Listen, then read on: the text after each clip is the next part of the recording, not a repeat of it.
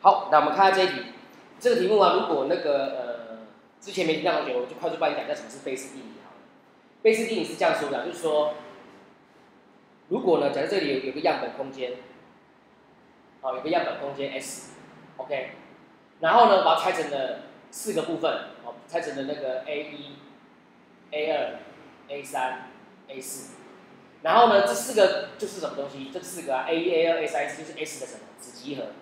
然后呢，这子集合里面呢，又发生了那个 B 的几率，就是里面，哦，这是 B 的那个事件。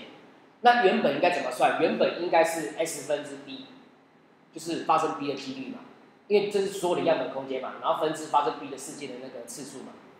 那我们可以用贝氏定理的概念去做，就是说，所谓贝氏定理说，我把这个样本空间分成这四个部分，而且每个部分呢并没有重叠，好，那就会变成说，发生 B 的几率呢，可以把它写成就是什么？就变成了 a i 分之 b 加这个呃 a a a 一分之 b 加 a 二分之 b 加 a 三分之 b 加 a 四分之 b 的几率全部加在一起，哦，这就是贝氏定理的那个基本的概念。会了哦，OK，那这个题目呢就是一样的做法。他说我们先取那个先从甲球里面放一球到乙里面去，所以我们先想甲可以哪种准进去里面，知道吗？第一个，我们如果先甲选黑的话。选黑色的，然后放到乙里面去。那现在几率是多少？甲方一，哎，甲的拿一颗一颗黑球进去里面的话，是不是就八分之三？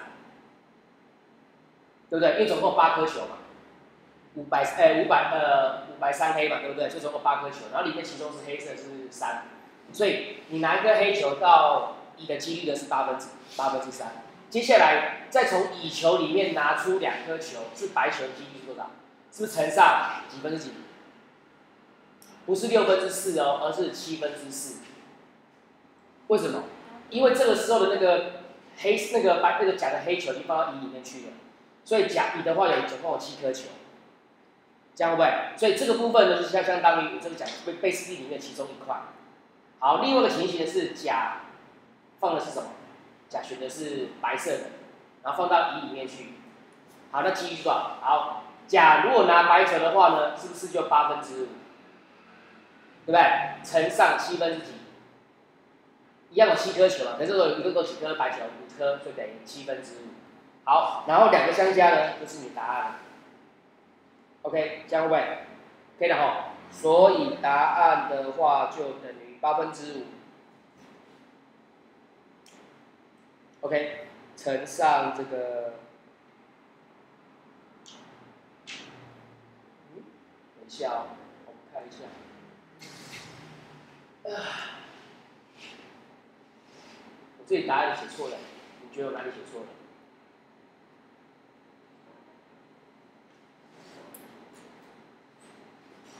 你觉得有问题？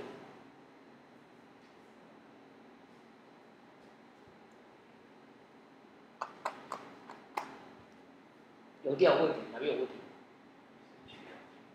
对，因为他说从乙里面取两颗球出来，对不对？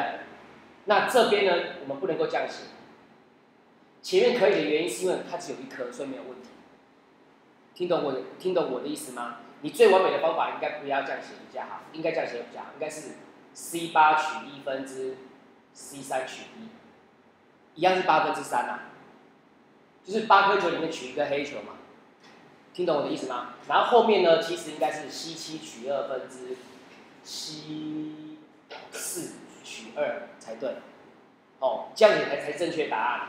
好了，这边呢也是一样的情形，应该是 C 八取一分之 C 五取一乘上 C 七取二分之 C 五取二，这样才对，看懂吗？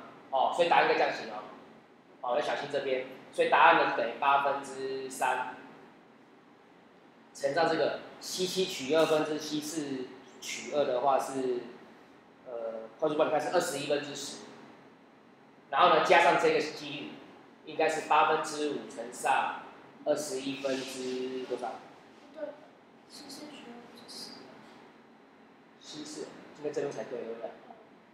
对啊，取二小，不对，不对，不对，不对。对，没错没错，这里应该是六才对，然后这里才是二十一分之十，这样才对。好，所以答案就等于呃一六八分之十八加五十，六十八。哦，所以等于四十二分之十七。OK，好，这样才是你的答案。好了，记一下，就是你要用用取的方式去做，比较不容易犯错。这里把它写上去。